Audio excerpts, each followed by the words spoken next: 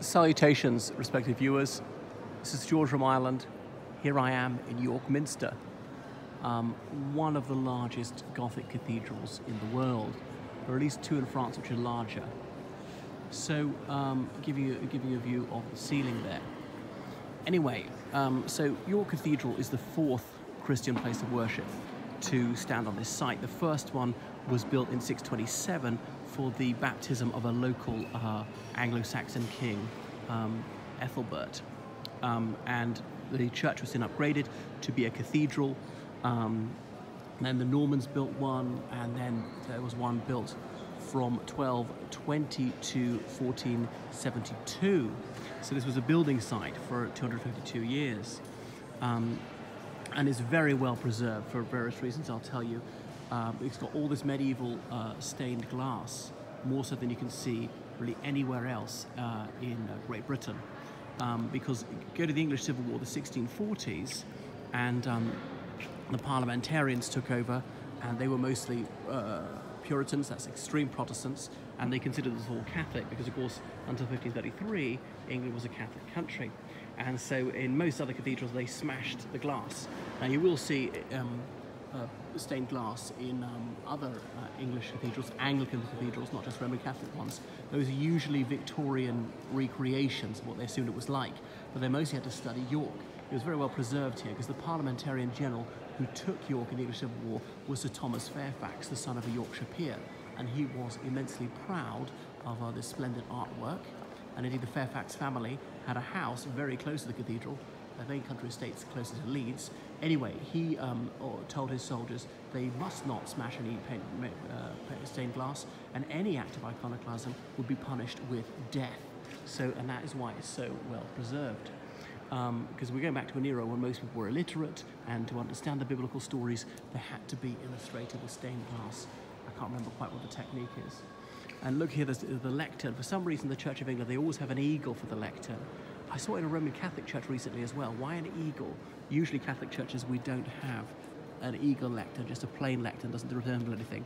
Got its claws over this globe, perhaps representing the world. Um, so there's the altar, two candles. Catholic cathedrals have got six candles through either side of the cross. Look, here it is a cross, no figure of Christ. The Catholic Church, we have a crucifix as an image of Jesus affixed to it. Okay? But I choose you, said Ego Elegivos. Um, and that is the cathedra, the Archbishop of York's church.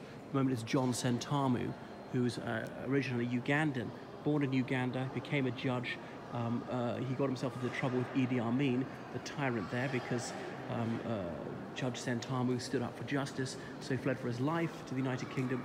He took another degree at the University of Cambridge in the 70s. He was ordained in the Church of England. He was Bishop of Southwark and so on. And then he uh, was translated to York in um, seven, uh, 2005. So the second highest clergyman in the Church of England. Didn't get the Archbishop Eric of Canterbury when that came up. So various uh, uh diocese, Winchester, look at the two cross keys, silver and gold. Seems like a symbol of the papacy. And then York, a Y for York. And then Southwark. Look, it's the, um, the bishop's mitre.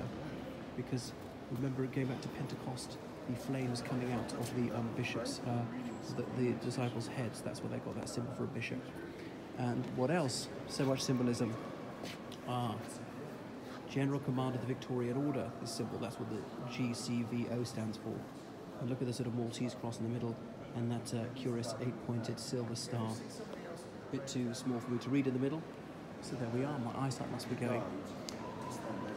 And then the Archbishop of Weber can walk up here and preach from here. We preach. Oh, okay, that's what it says. Christ, yes. Uh, and then memorials to a couple of the people who held the See of York. Cosmo Gordon Lang and William Temple. Their coats of arms. Um, okay, so uh, we could go on for hours and hours. Look at kneelers if you want to kneel down to pray, and these little cushions to kneel on if you want to kneel to pray. When I was into mortification of the flesh, I sometimes wouldn't would kneel on the bare stone. Really killed my knees, as though suffering somehow pleases God. Um, so look at this. Uh, this is the west window, and that heart symbol up top. People often call it the heart of Yorkshire. It's been known as the heart of Christ in Catholic times. So I might have to zoom in for a bit to tell you what's what. So plenty tourists ten pounds fifty to come in. If you want to go up to the top, two hundred fifty-seven steps to the top of the tower, another five quid. Robbing bastards. Another five quid to go into, into, into the crypt. That's the underground section. Any secret hidden in ancient Greek, where people are buried. Well, the people buried up here as well. Uh, we don't want it that bright, and we want to zoom in. Um, and another ten pounds for the chapter. That's where the monks had a chapter read to them when they had monks here in the 1530s. Look at that. Zoom all the way in. So maybe Christ at the top, the Blessed Virgin, and then um, the 12 apostles, and then various archbishops of York. This is the Melton window, Archbishop Melton. He had it. He had it built in 1339. We believe he's depicted here. We don't know which one he is because there are any names on them. Melton is in Melton Mowbray. Okay, look at above here, another image of Jesus Christ. So it suffered a very serious fire in the early 19th century, more like the mid 19th century actually. Some bloke up there took a candle up, was told not to do it, part of his work on the cathedral, left it when he went home and it caught fire, and then it caused this this roof which to uh, to, to fall and the whole thing smashed down and some of the stone was turned slightly pink. You may see a slightly pinkish hue. But they rebuilt it in the mid 19th century and the Victorians had had scaffolding up here to allow people to very carefully study all these. They'd um, made drawings and paintings of them, so they were able to rebuild all of them. And one of them shows um, the Blessed Virgin with um, Jesus as a suckling, and she was breastfeeding him. But Victorian prudery being what it was, they couldn't possibly tolerate that, and they had him uh, had her bottle feeding him, and, and so it goes on. Okay, and then we've got the Ascension somewhere or other. We just see a pair of feet as Jesus Christ is going up. You have to look for it yourself in more detail. These are all wood painted gold. Look at all these coat of arms right up there. I don't know what they're for. And then right at the end, up high on the left, you can see the Y for York, Archbishop of York. It's been held by some very distinguished people, including Thomas Cardinal Wolsey. Could I have your attention, That's in the Catholic era. What are these people doing here? What are they doing here? They are doing semaphore. You can read semaphore. What does that mean? That means Christ is here. So, what I was going to say about Christ is here, um, that was put up for an art exhibition in 2005. The chapter, as the governing body of the cathedral, liked it. They said it could stay, and it re- reflects the 1640s or even the 1540s, where they smashed loads of heads off statues of saints, headless statues. You could tell something was a saint, not Jesus, because it had a halo. So they're using halos, as it were, not heads, to single this out. But they removed them for the making of a film from a Robinson Crusoe film, because of course Robinson Crusoe, supposedly born in York, um, that fictional character, it was really about Alexander Selkirk. Anyhow, then they um, put them back after the film, because these wouldn't have been here in the 18th century, but they put them back in the wrong sequence. Ended up spreading, spelling Chris is there. There's a chap called Chris who worked it rather like that. Look at the Blessed Virgin, Jesus, all the rest of it. Three lines of England. Not sure that is in the right. So, anyway, at the far end, we're going to get past the huge organ. Uh, that, sorry, that's not supposed to be vulgar.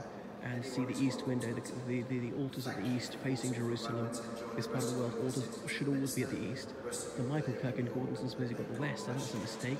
Someone said it was sacrilegious. Is it devil worship? Um, and look at this, like the, the, the, prow of a, of a Norse warship sticking out. I don't know, I presume it's just a reproduction. I Don't know why it'd be there. And you can walk way up here, you see the red curtains are. And, you know, you could just stay here all day studying the stained glass. So, um, only way up is walk. Then in 1984, another fire broke out here at York Minster. And um, uh, fortunately, it wasn't too badly damaged. The fire brigade that July took the decision to pour the water onto a bit of the roof, knowing that would collapse a portion of the roof, but it would actually save more of the cathedral and stop the fire spreading too badly. So um, by the time I visited in 1993, the, the cathedral was fully functional, had been almost completely rebuilt. Some of the external masonry wasn't replaced until 1998. So many important events took place here because, of course, York was considered an extraordinarily important city. And there's so many archbishops are buried in here and other distinguished personages. There are memorials to all sorts of uh, uh, celebrities, I suppose we'd call them now, here, politicians, judges, generals. And this is this is a memorial chapel to the soldiers from Yorkshire who were killed in the First World War, France and Flanders and various other theatres of war, battles like Gallipoli, Aisne, also in France. Okay, so this is called the transept. The transept is where the cathedral goes out wider because the cathedral makes a cross shape. So this is, if I got it right, this is the north transept and this is the south transept. So you can see they've got Norman arches when they started rebuilding it in the um, uh, from 1220, wider and higher than would have been possible for them. Don't know whether it's symbol of Munster with an angel above it. And that's the high tower in the middle.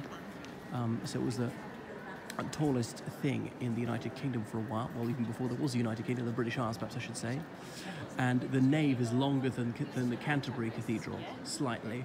I wonder if that was one upmanship. Okay, so looking back down the nave.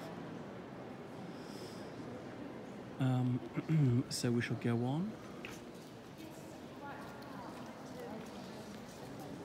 And as I pointed out in another video, there was the last royal wedding here was 1960.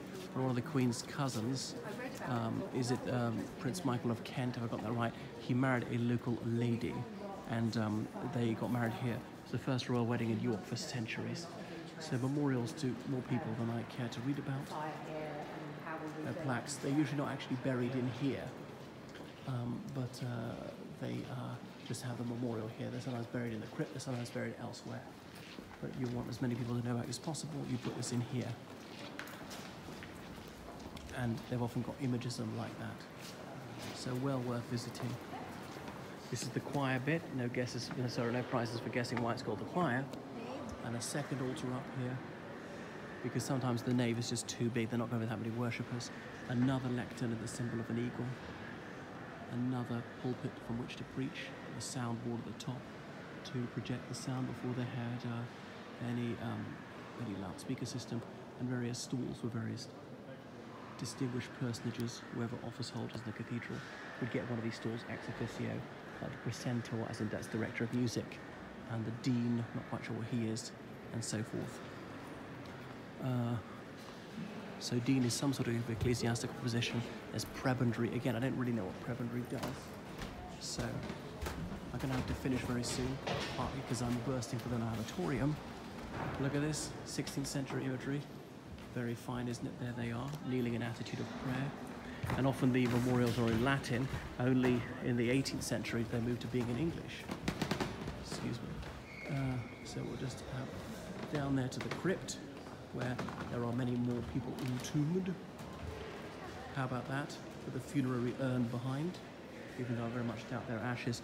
Christianity was, was not keen on, on, on, cremation for centuries. Only the 20th century become acceptable. They associated it with paganism. People were only to be cremated in extremis. One of the side chapels or ante-chapels here looks like an image of Mother Teresa. In these ecumenical times here in the Church of England, they don't mind uh, Catholic saints being commemorated, as in really from the Catholic era, after the Reformation. So there we have the east window. Anyways, people sometimes say it's haunted. So there's just an endless number of things you could learn about this or commentate about here in, in, in York Minster. So really it's um, the um, uh, metropolitical um, uh, Cathedral and Church of St. Peter. Um, metropolitical being like the adjective of metropolitan. This is a metropolis, a big city. Only 200,000 people now. In the 11th century, there were only 4,000 people. That was big by the time, standards of the time. But commonly called York Minster, despite its official name. Saint William is the is the patron saint of, of, of York. Don't ask me why. You know, Constantine the Great, the Roman Emperor, was proclaimed emperor here at York. Eboracum as then was, and he later declared that Christianity was the official faith of the Roman Empire. A bit later. Right, I'll switch it off now.